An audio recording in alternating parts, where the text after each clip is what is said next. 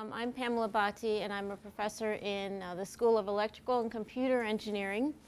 And um, my roots are actually in bioengineering. I had an undergraduate degree in bioengineering, and um, I worked in the pharmaceutical industry for a while uh, in the 90s, so er, late mid 80s, early 90s. So I guess I'm dating myself a bit. And um, after being in the biomedical engineering domain, I really felt that I wanted to build skill in electrical engineering. So I worked in industry uh, for some time before getting my PhD at Motorola as well as a software startup. And um, I don't know about you, but for me, there's nothing like a software startup to motivate you to go get a PhD and do things that are really active and engaging where you get to call the shots. Uh, so my PhD is in microelectromechanical systems. And basically, it's, it's a field where you leverage the same technologies, uh, the same methods that you use to make integrated circuits, you can develop novel neural interface technologies. So that's the MEMS piece in my talk. And I'm very engaged in how we can take the MEMS and marry that to the neural interface as well as taking it one step further and trying to translate MEMS-based technologies into the clinical setting. So the two main applications that I'll talk about today are in the auditory and vestibular systems. And uh, for, I think I'm going to turn off the lights because I think the slides will show up a little bit better. Oh. Thanks for my helper here. Um,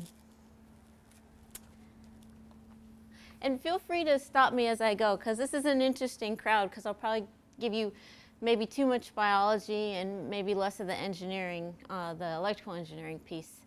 Um, so I'm also involved uh, over at Emory with the Clinical and Translational Sciences Institute. And it's really a, a nice way for those who are interested at Georgia Tech in looking at um, translating their work into the clinical setting and building skills. So there is a program where you can um, obtain a certificate, certificate, uh, certificate in um, translational science. So I like to give a broad overview of what our lab does. So in the center here, our target is biomedical microsystems and neuromodulation devices. But that involves a whole host of more, I would say, engineering type technologies with the signal processing, circuit design, any implantable, any implantable device. We have the wireless communication aspect, power, battery, all um, very, very critical components. And then we move over to the neural engineering side where we directly interface with neural tissue. And that involves uh, validating it in human models as well as testing it out as well as we can. And given my research focus, I do a lot of work with folks in uh, otolaryngology, speech and hearing, as well as uh, rehab medicine. So I'll start with the cochlear prostheses work.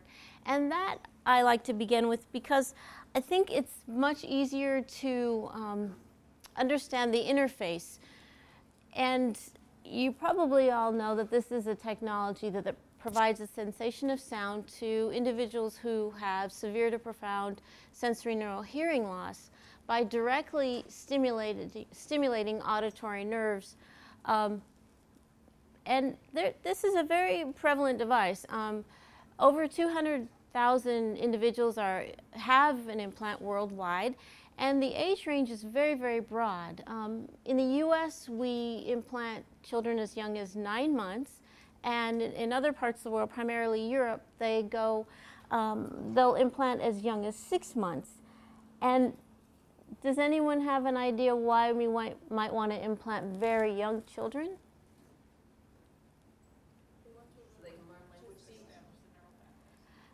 Exactly. So so they can learn to speak and establish the neural pathways, neuroplasticity. So we have a formative period in our first nine months. And if we don't engage the auditory system, we will lose or severely impact kind of the, the learning curve for language. And I work with a pediatric otolaryngologist over at Emory, and he's very, very pro um, implanting young children. Uh, on the alternate side, there's folks in the deaf community who feel that we're forever changing them, and they don't believe that young children should be implanted. So it's a somewhat controversial issue. So uh, people with implants can do very, very well. Scores of nearly 100% speech recognition in quiet environments. And the challenge is in noisy settings uh, where, you, where you have multiple talkers coming at you from different positions in space. So there's a lot of effort on the signal processing side on how to improve implants in terms of capturing that auditory information. Becoming more and more common are bilateral implants, um, where they're implanting both sides uh, for an individual.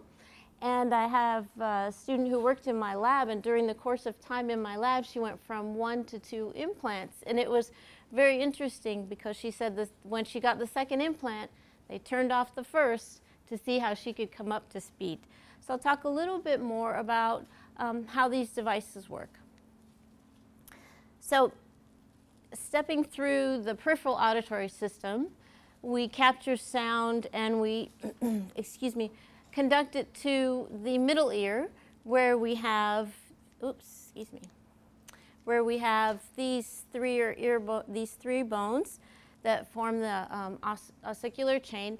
And it's very fascinating because going from the eardrum to the inner ear, we've got a gain of 20 dB. So the ear is a beautiful filter. It's a beautiful mechanical filter, the middle ear.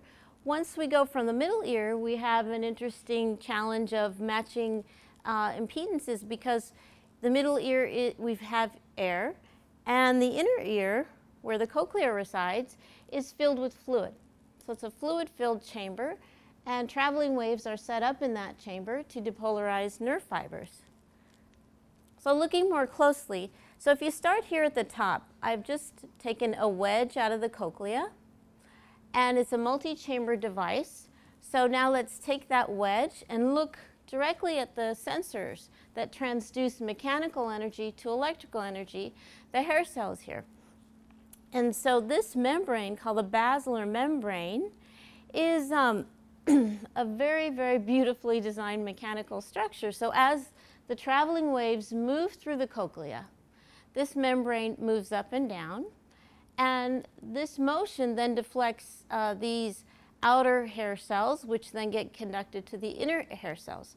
So a series of electrochemical reactions occur that essentially translate these mechanical deflections into neural impulses carried through these peripheral processes of auditory nerve fibers.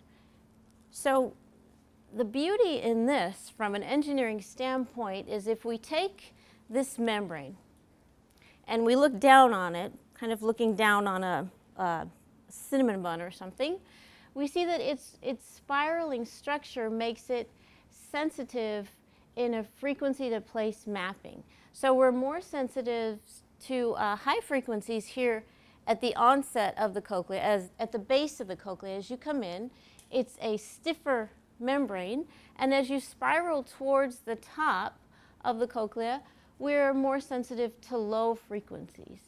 And so we can resolve to a first order uh, to first order, we can resolve frequency to place. And this is pivotal in how a cochlear prosthesis functions. So sensorineural hearing loss, that's what I started with in terms of the candidates for cochlear implants, they have lost hair cell function. And so what I'm showing here is the top of a hair cell, the stereocilia on the hair cell, which deflect. And on the right-hand side, we have damaged hair cells, and on the left-hand side, we have uh, healthy hair cells. So there's a variety of reasons that can lead to hair cell loss or damage. Um, there can be a congenital defect, um, bacterial or viral infections, as well as acoustic trauma. So a lot of folks in the military have uh, sensorineural hearing loss because they've been on aircraft carriers um, been exposed to IEDs. And so once we lose this ability to translate electrical to mechanical energy, we have hair cell, uh, we have hearing loss. So the nice, I guess, quote unquote, nice thing in this story is that while we have damage to hair cells, there is the ability to conduct electrical energy in the neural pathways. And so that's exactly what a cochlear implant does. The hair cells have been lost, but some loss of peripheral processes, but however, the cochlear nerve responds. And stepping through a cochlear prosthesis, if we start on the external portion, the job of uh, the signal processor, so we capture um, sound through a microphone, one or more. So the more advanced devices have multiple microphones so they can try to capture directional information. And those are translated, that information is translated into a series of voltages essentially. And the external speech processor here makes, it really makes, what it does is it decides what information is important for speech or music, and that's a bit more advanced. But uh, it's very sophisticated. The first, um, well, currently, the, the um, external speech processors have four DSP cores in them. So uh, a lot of engineering goes in the external speech processor, and these algorithms have evolved over time. And what I've shown here is the most commonly used uh, speech processing algorithm. And essentially, it distills out or it breaks frequency into 16 to 22 spectral bands. It filters the energy, so it filters those bands so it can pick out the energy because you have frequency. So you've taken our wealth of sound and picked out some frequencies. Now for each frequency, how do we stimulate the auditory nerve? So we pick out the energy of that signal. And that energy level is used to control the current level you, that uh, stimulates auditory nerve fibers. So if we, and you know, all that information or all those decisions are made externally and transmitted wirelessly to an implanted receiver stimulator here, um, shown as number five. So from that implanted receiver stimulator, pulses are delivered to auditory, uh, excuse me, to the cochlea, listed as number six here, where we've now taken frequency and we're hitting specific frequencies in the cochlea via the position of the electrodes on the electrode array.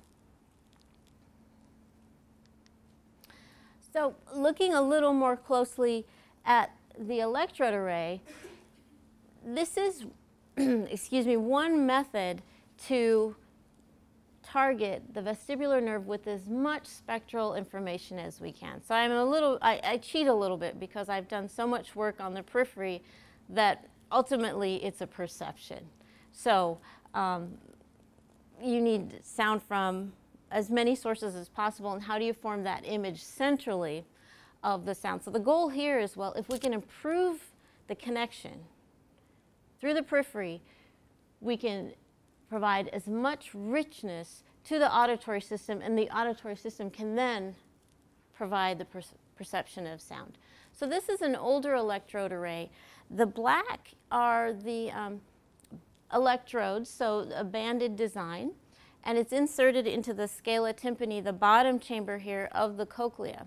Most electrodes arrays do not go all the way up to the, to the tip, to the apex. We have two and a half turns in the human cochlea.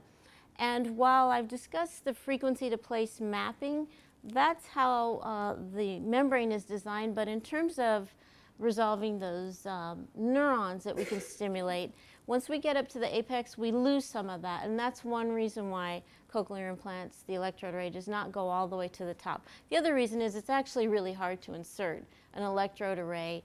And imagine that you need to insert this device, however, you want as less trauma as you can introduce into the cochlea because you really, you're after maintaining this neural population because that's your conduit to the auditory system.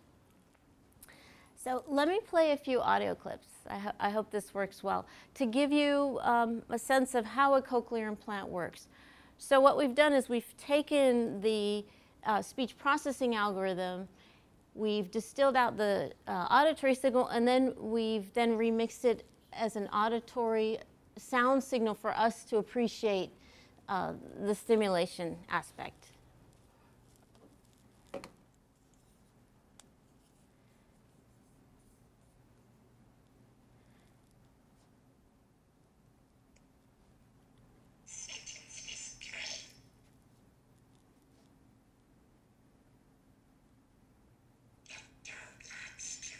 Can you hear this? So these are sentences.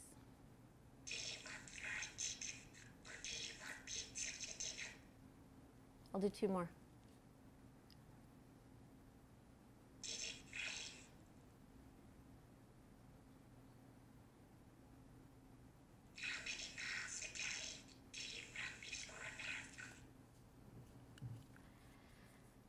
So,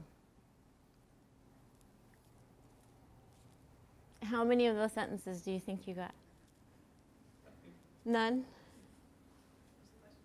How, so I was asking how many of those sentences, was it the volume level? Because I can replay them. No.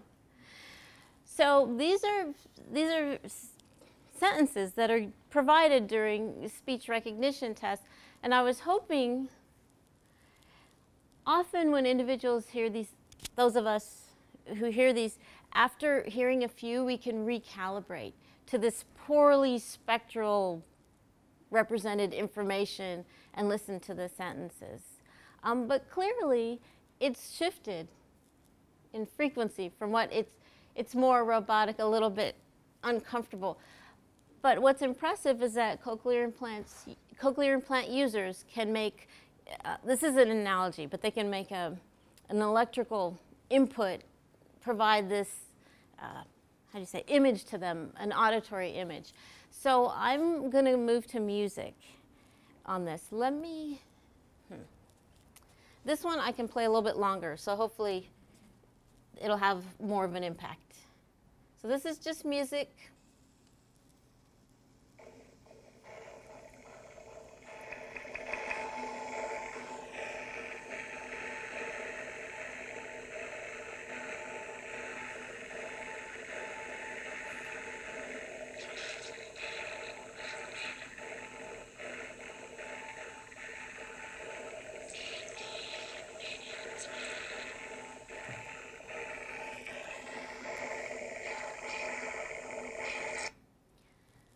So you heard instrumental and voice, right? Okay. So let me play, if I can get my mouse here, let me play the song.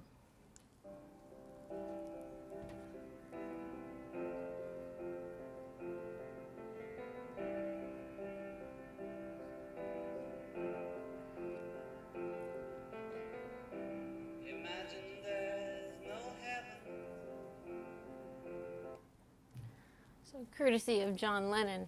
Um, we've got a long ways to go. We really have a long ways to go. And that's why I continue to do a lot of this research.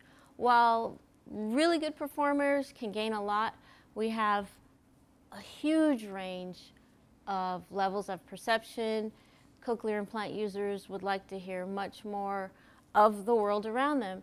And another piece that I didn't mention is that um, tonal languages. So Mandarin Chinese, Punjabi, there's a whole host of languages that need a different way of expressing, or they need, basically they need a different selection method for providing that spectral input to them. And so the work that I've been doing in my lab is doing for some time is enhancing that spectral content, and that's through electrode array development.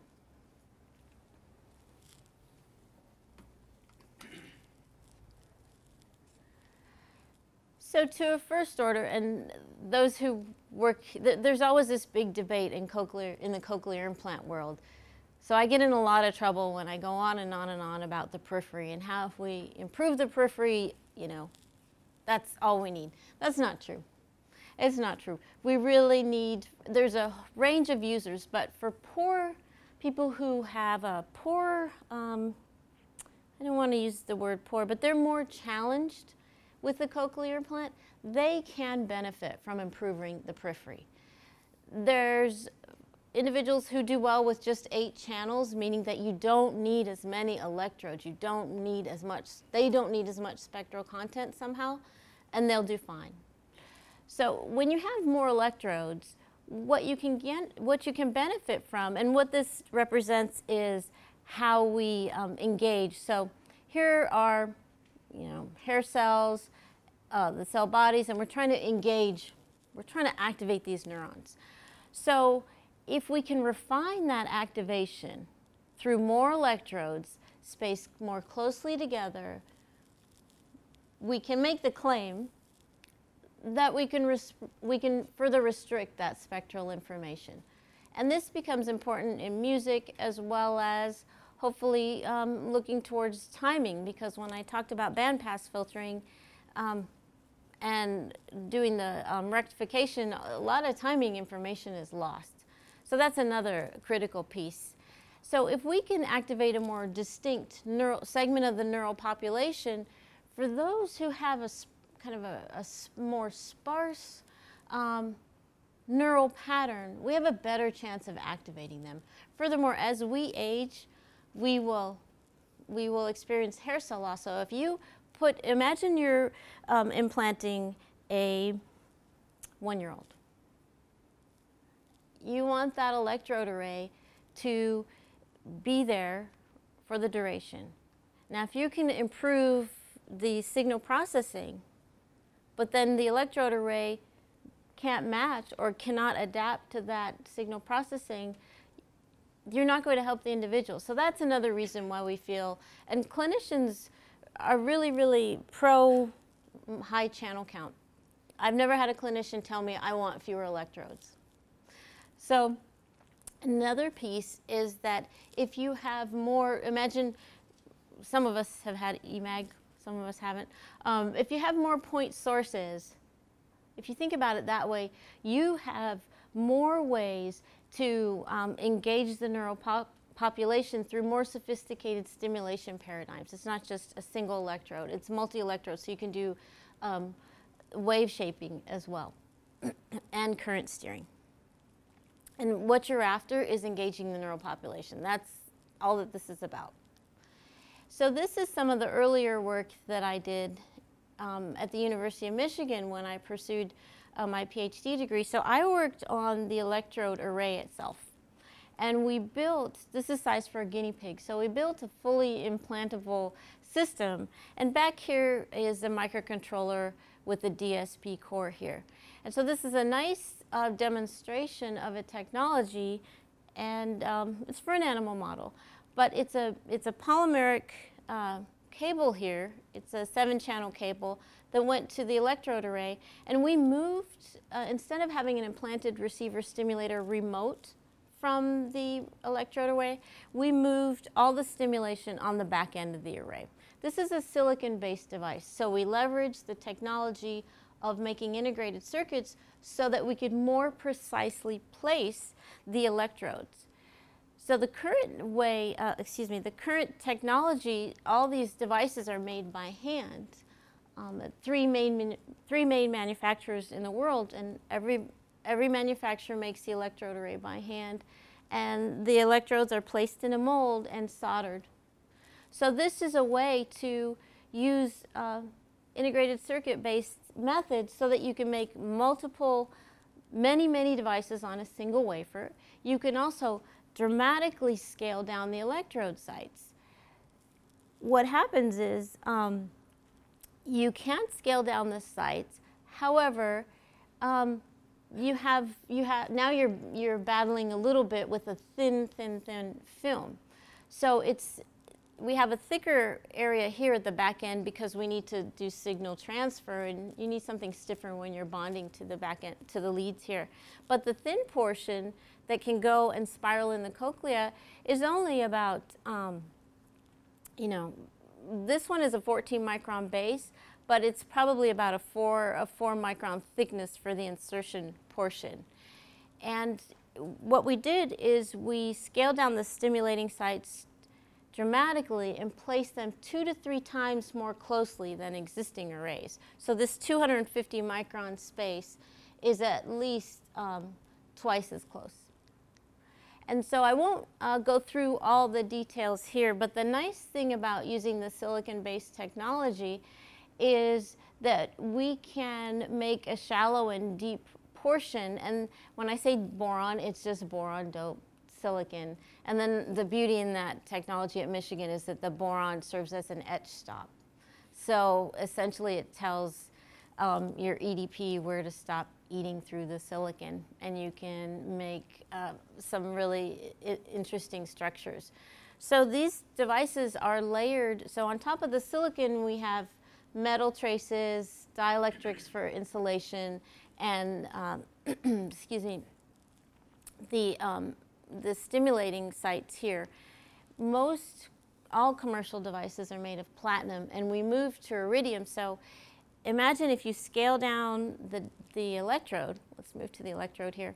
If you scale down the electrode size, that's all the space you have to do these nice reversible electrochemical reactions at the electrode electrolyte interface in the tissue. So if you scale it down, but you still need to depolarize nerve fibers, then you're, you're challenged with improving the electrode-electrolyte interface. So we moved to iridium oxide.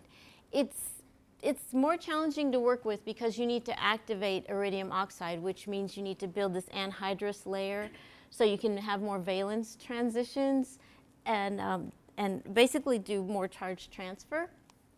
So it's a little different. Um, now this is the electrode array that we tested in a guinea pig. And on the bottom here, I put uh, a representative commercial array. So in terms of the area, we've gone down quite a bit from the iridium oxide, uh, excuse me, from the platinum to the iridium oxide. So once you do that, we wanted to see, well, are we, are we stimulating nerve fibers? And we did this in a guinea pig model, and we first did monopolar stimulation, which, does anyone know what monopolar stimulation is? A couple? A couple. Yes. So one electrode site internally, so in the cochlea, and then a return electrode. So you need to have a return path in the animal model. So we found that we were on par with commercial technologies. So we wanted to benchmark our new method with existing methods. Bipolar makes sense, right? Two sites, two collinear sites in, in the um, cochlea. And what we did is we stepped through closer and we went further and further apart. And as you go um, further apart, it takes less current. So bipolar, while it restricts the field, it's a more energy hungry strategy. Um, excuse me. So, oops, I guess I've got to back up for a second before I go into my newer technology. So the silicon was great in terms of microfabrication, but in terms of putting any torsion on a silicon array, you'll break it. And uh, does, has anyone worked with silicon arrays, NeuroNexus probes here? No. Well, you'll feel that you know you'll know my pain if you've worked with them. So, you know, if you think of a planar you know, it's a silicon wafer and now you want to twist it and turn it, oh, that's trouble. You can, you know, do a lot of in-plane stuff, so still great for MEMS, not so great for electrode arrays that need to twist and torque. So once I came here, I was on this, this path to improve the electrode arrays, so we went to polymers because polymers are much more flexible, probably more challenged in terms of longevity in, in tissue. So we went to um, uh, we, we started working with folks at uh, Georgia Regents Medical College of Georgia uh, because they wanted to start doing more research with their residents. So I said, well, let's try to make a polymeric array. And that's not so hard, but getting it into the cochlea is. So we looked for technologies or ways to introduce the electrode array into the cochlea. So on the top here, what I'm showing is a thin film array made of polyimide, and our first step was, well, you know, why don't we try to mate our array with existing methods, with commercial arrays? So MED-EL, um, a cochlear implant company in Austria, was able to take, these are non-functional arrays. These are two types, an insertion test device and an insertion electrode. So what they've done for us is, what they did for us is they gave us the silicone. In the top one, this is kind of a weird device and no surgeon uses it even though they make it. It has a stopper. It's to insert into the cochlea before you put in the real electrode array. Surgeons don't use those because that can introduce trauma and also via imaging, they'll know what the path is in inside the cochlea for uh, placing the array. Nonetheless, we use that to try to, we use that as a vehicle. So we essentially glued our thin film arrays onto these two uh, silicone, silicone-based devices. So we had mixed results. And we introduced these into uh, human cadavers. So through either the round window or by drilling a hole in the cochlea. And so I probably should point out what you're seeing here because that may distract you. Um, this is the silicone from the, the carrier, those two devices they gave us. And what we did is we glued our array. Here's the gold. Those are, you can see the interconnect there. And this is an example of the array coming apart from the insertion device and penetrating the basilar membrane. So none of this is good. This is not how you want to go. So we found mixed results. Also, this is a bit strange, is that we had unimplanted controls and 29% of them exhibited insertion trauma. So suggesting that probably the method of assessing trauma uh, is a bit confounded if something that had no electrode array exhibited trauma. So we said this is probably not the way to go, but we need to bolster, we need to strengthen these electrode arrays.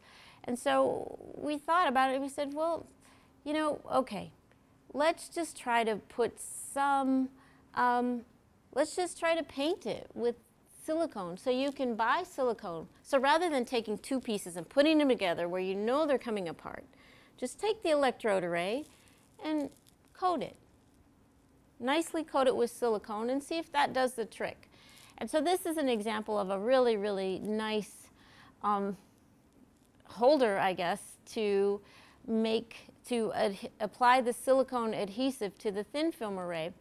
And I, I like to put this here because sometimes as engineers we get all excited and think, well, this is what the clinician needs. They need an array that's bent because the cochlea is bent. You know, the first turn, coming into that first turn.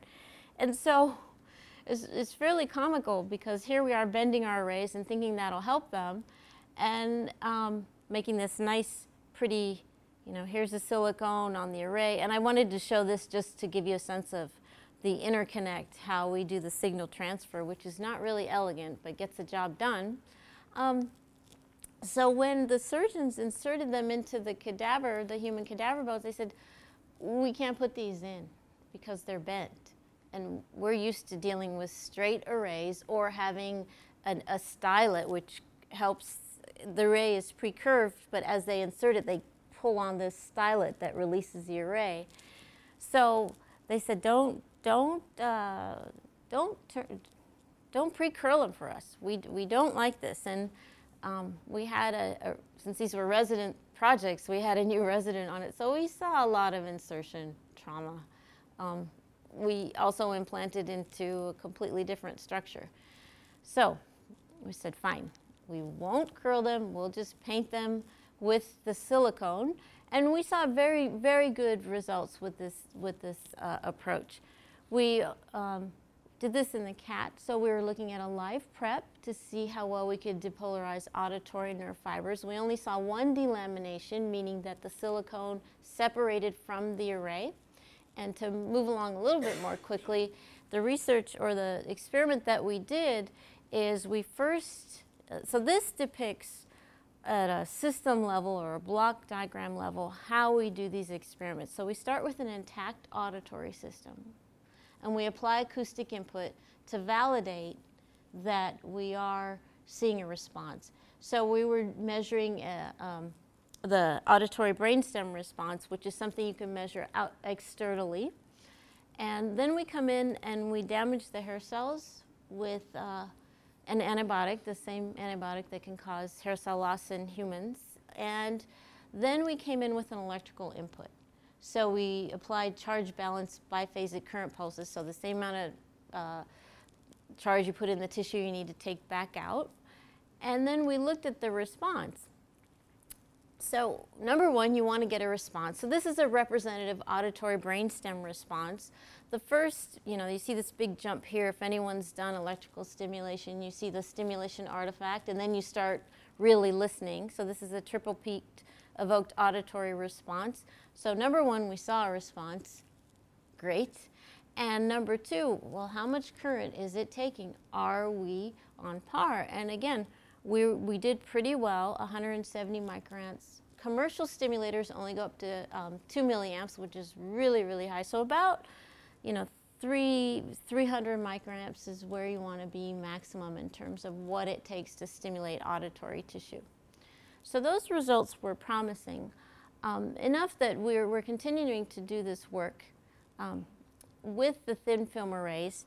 So let me give you um, a sense of what a thin film array looks like inside the cat cochlea here.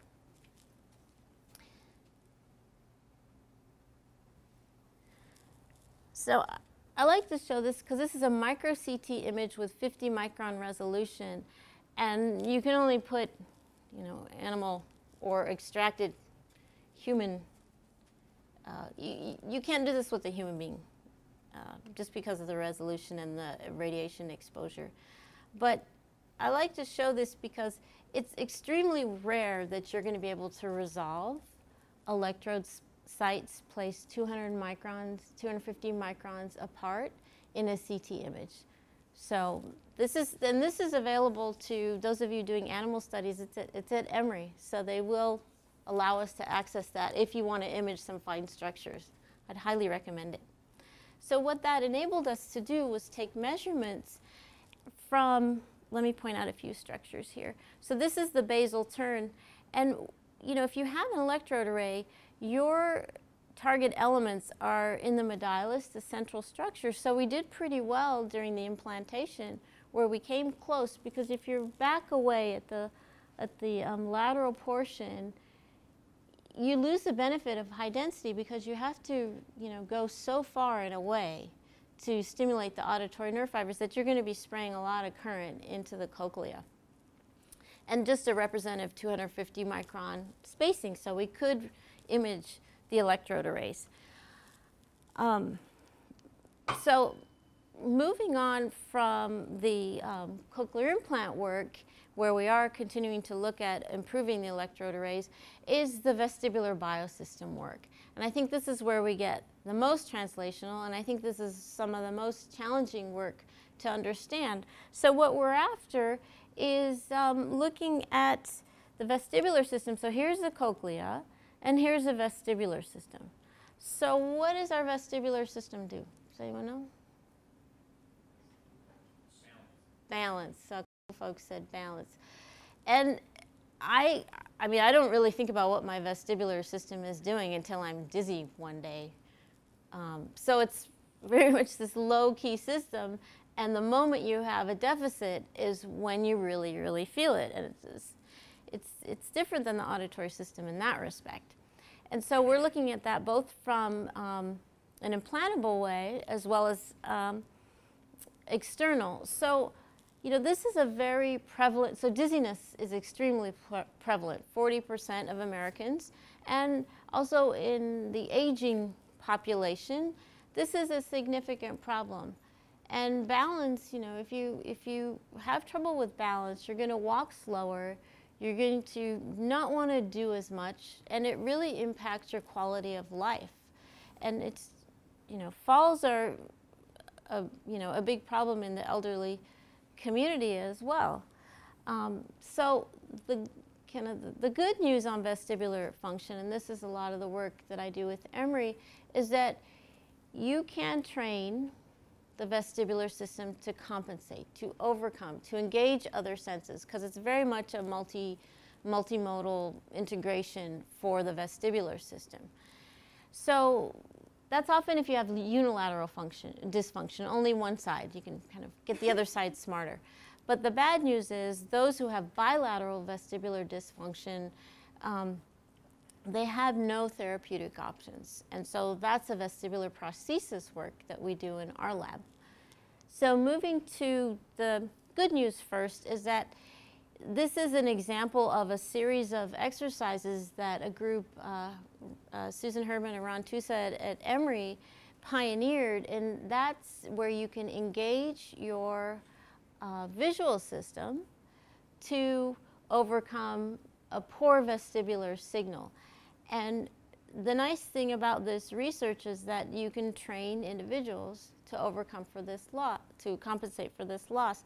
The challenge is, you know, although we say here 75% improve with gaze stabilization exercises, 25% don't.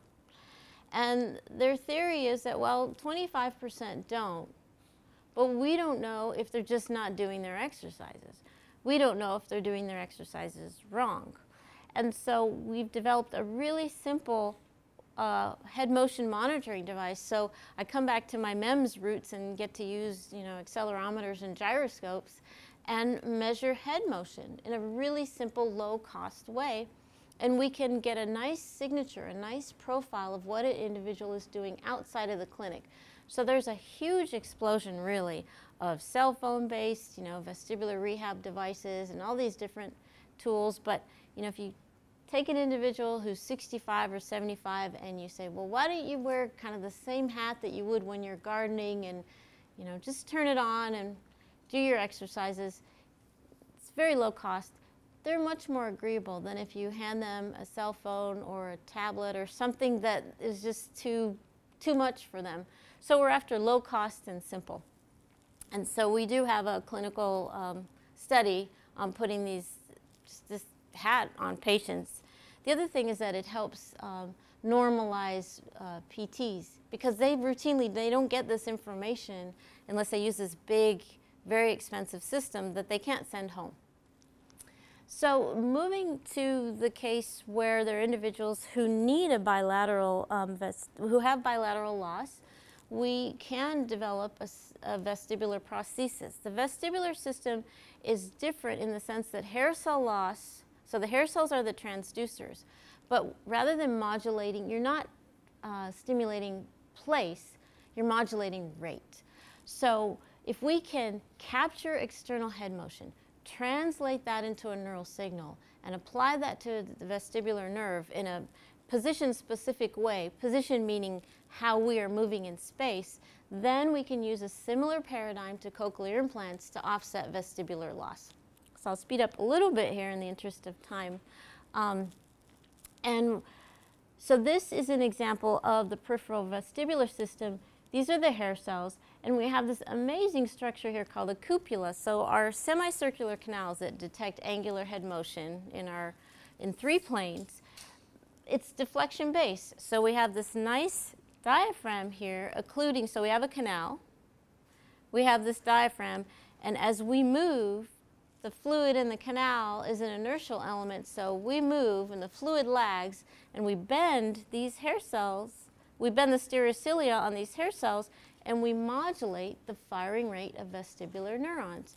So we just have a tonic rate at about 100 hertz, and if we can kind of up modulate and down modulate that rate, and the beauty of our system is we have two ears, so we modulate, we can go up and down so we get, we can amplify the signal. And so what we've done in terms of looking at a vestibular prosthesis, there's two main challenges. And one is that when you have inertial sensors and you implant them, they're very power hungry. So what we did is we thought, well, how can we model this vestibular sensor as a MEMS structure? and I'll skip over that a little bit. And so here's a representative semicircular canal. So this is a first order hydrodynamic model. And if we can get the same frequency response as well as deflection, we can use that to code the angular head motion instead of using a gyroscope. So our device is purely passive and this is a little bit of modeling of it, but I'm just going to skip to the MEMS piece um, so I can close up pretty quickly.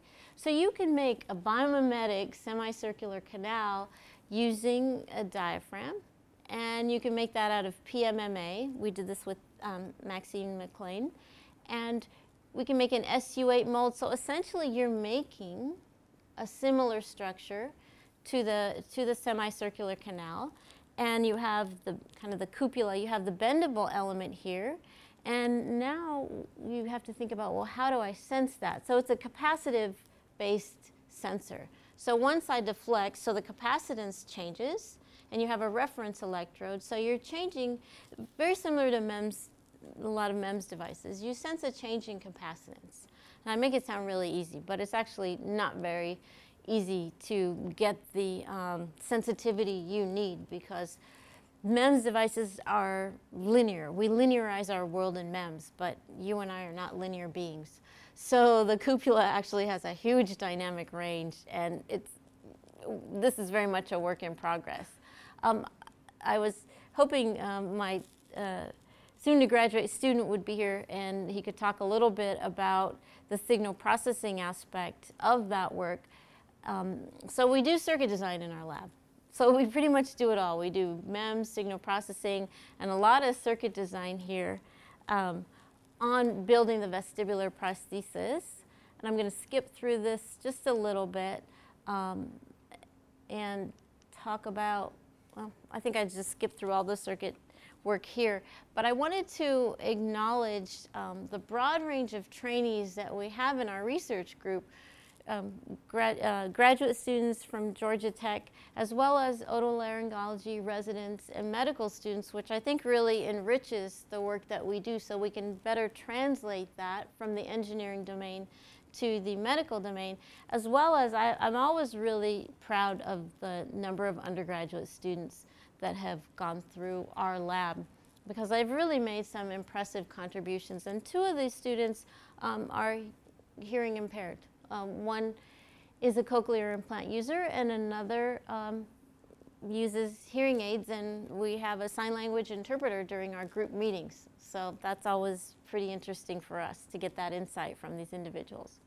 So I'd like to acknowledge the funding sources, NSF, NIH, as well as, as well as MED-EL, Cochlear Implant Company, a lot of donations for us.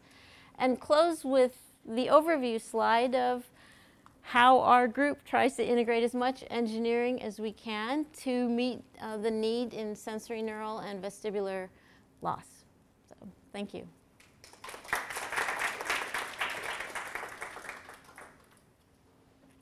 Any questions?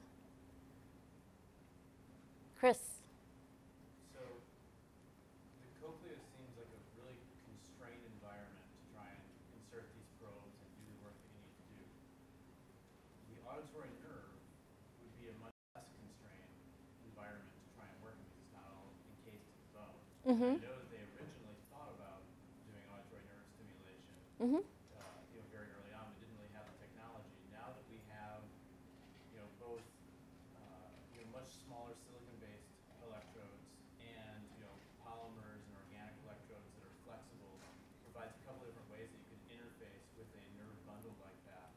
Is there any thought of revisiting auditory nerve stimulation instead of cochlear stimulation to try and work in this less constrained environment? You wouldn't have to deal with as much crosstalk with the zone, and you wouldn't have the insertion difficulties that you have. Is anyone considering revisiting that as a model? So there's a lot of work. Um, House Ear Institute was really pioneering that. And so they're using thin film technology in implanting the auditory nerve. So while it's a less constrained environment, the surgical approach is more difficult. The surgical approach, getting to the auditory nerve, um, is a bit more difficult. So are you talking about in the periphery or are you talking about further up in the auditory chain? Because I don't really know. I mean, the further you go up, the less you understand about the coding mechanisms. So in the inferior colliculus, we actually have the frequency to place mapping in terms of these layers. So they're doing inferior colliculus, they're implanting in the inferior colliculus. They were hoping to see a better resolution of frequency as well as lower the threshold because in the cochlea, you brought it, you, I mean, you hit the nail on the head. You're, you're constrained, you're, you're not targeting the neurons as well as you could. They have not seen that. They have not been able to drive down. You want to drive down threshold, and you want to improve resolution. And on both counts, they haven't seen it. Um, I'm not sure why they're not resolving that um, as well as they would like because they're implanting directly into the nerve or into the inferior colliculus. Um, they're not getting the resolution that they need. Did you have a comment? Yep, a question. Oh, go ahead. Um, sort of branching off this, you mentioned this earlier, this idea that some patients respond better than others. Mhm. Mm-hmm. Some might respond better to improved peripheral implants, but maybe more central implants farther up the auditory pathway would help.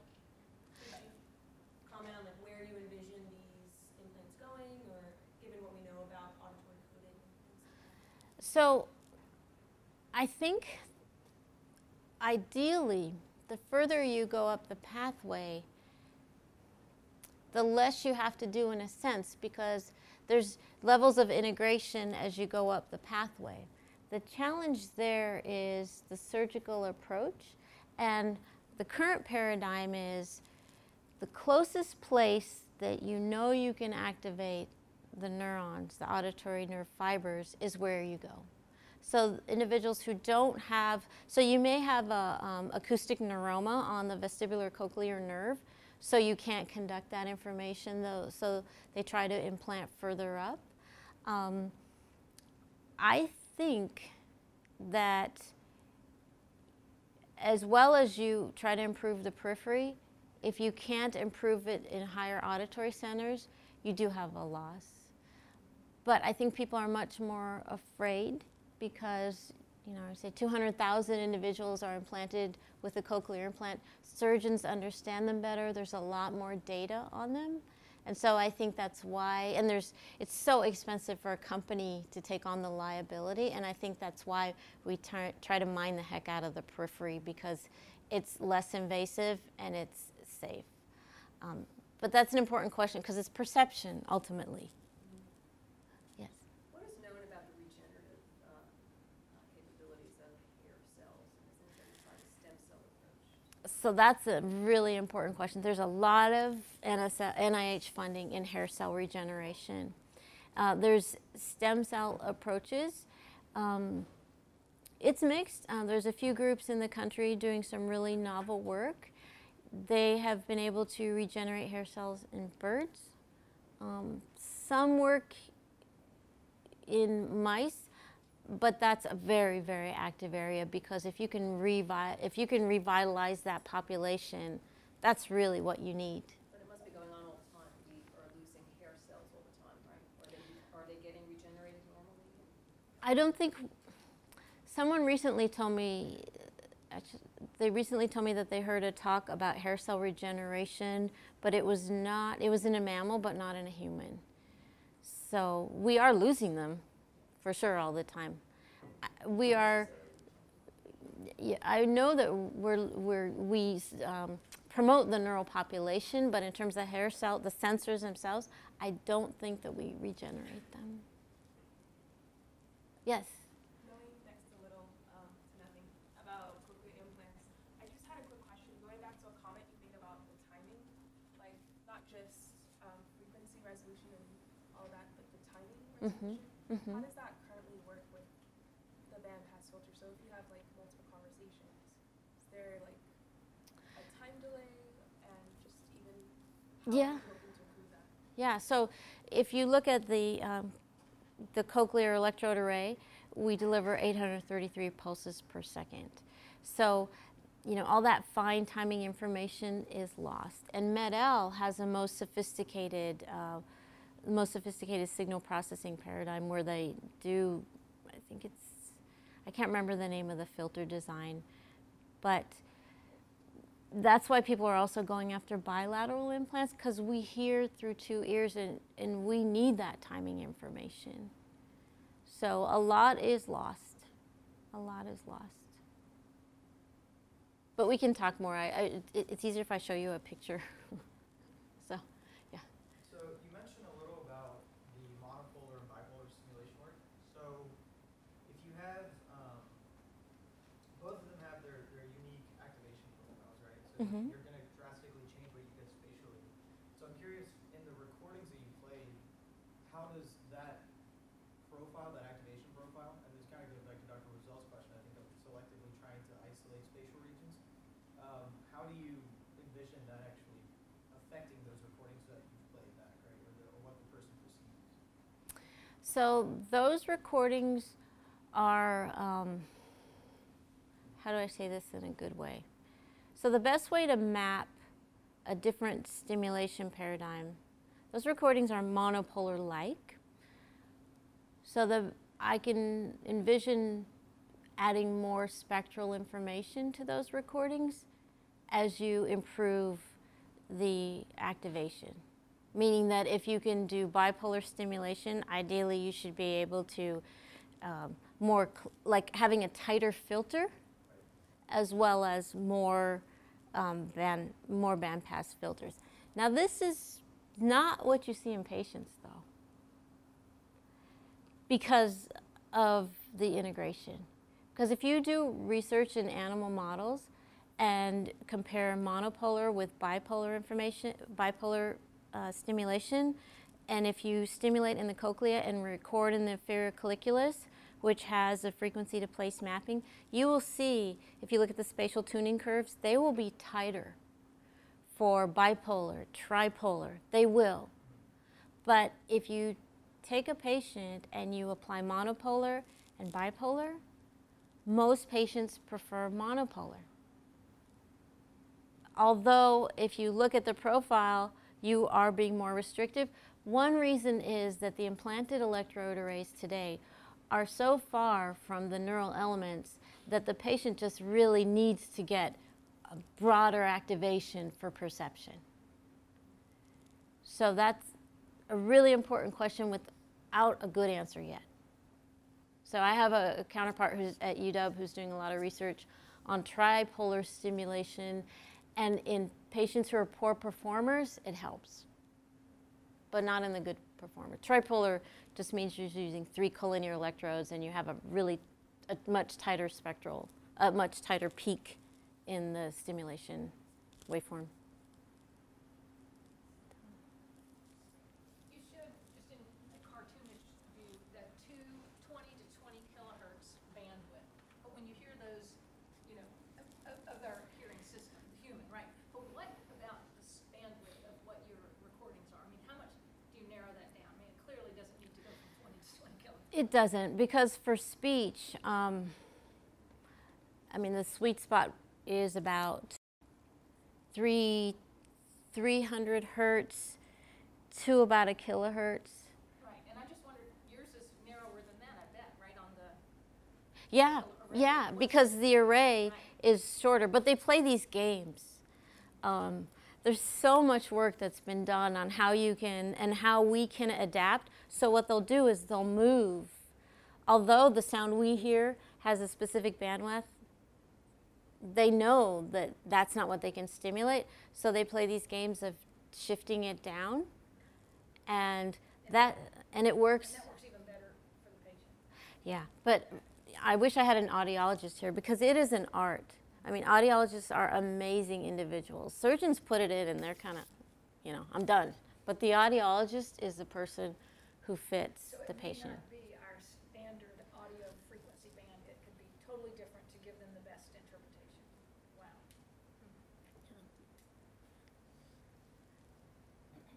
Oh, last question, Chris.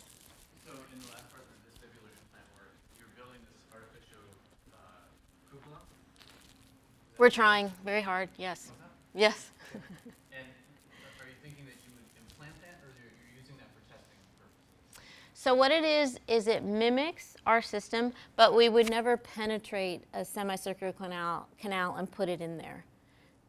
So it's a model. It's inspired by biology, but it's an inertial sensor, and it would be implanted, but not replacing. It's not like a, a bionic cupula or something. Well, so, that, so why would you not take that sensor that you're building and test it in the artificial cupula, but then insert it into into a real semicircular canal or something? Well, why, would- why do you have to build an artificial one?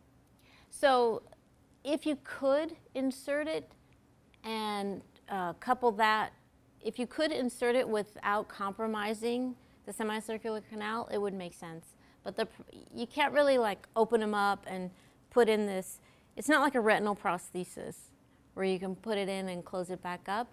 If you penetrate the semicircular canal, you can't surgically, you know, fix it up, if that makes sense. So that's, I talked about that way in the beginning of my work, and the clinicians looked at me like I was nuts, so I gave up. So, so.